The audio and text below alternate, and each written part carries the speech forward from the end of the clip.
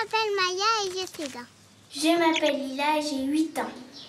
Je m'appelle Yoko, j'ai 4 ans. J'habite à Marrakech.